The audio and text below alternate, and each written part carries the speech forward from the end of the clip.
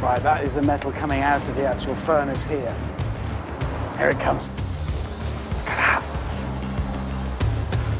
It's like a living thing. Call me weird, but I've always wanted to see something cast like this. It's just a kid in me.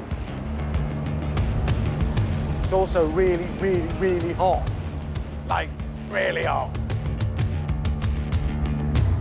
It takes 10 days for the propeller to cool, after which it's still far too rough to cut through water efficiently. It needs polishing, and this is where years of skill come into play. After all the automation, this really is hand finishing. As much as if he was running his hand along it to do it.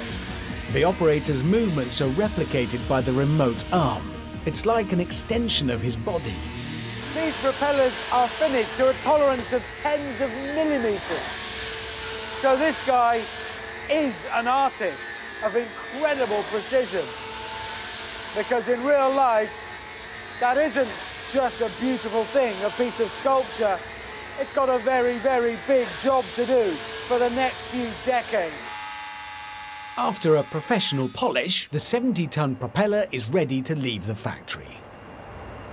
The more I see of the effort and artistry that goes into crafting this beautiful sculptural thing, the sadder it is to think that, just like the one on our ship, it'll spend its whole life underwater, unseen, and that from the moment it starts working, it'll be under constant and vicious attack from a deadly force called cavitation.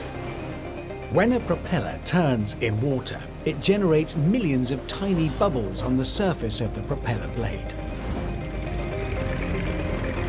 The bubbles only last for a few milliseconds before they rapidly implode, sucking in water at phenomenal speed and sending it out as supersonic microjets. They're tiny, but because there are millions of them, this constant bombardment creates enough force to damage the surface of the metal, eventually eroding the blade and destroying the propeller.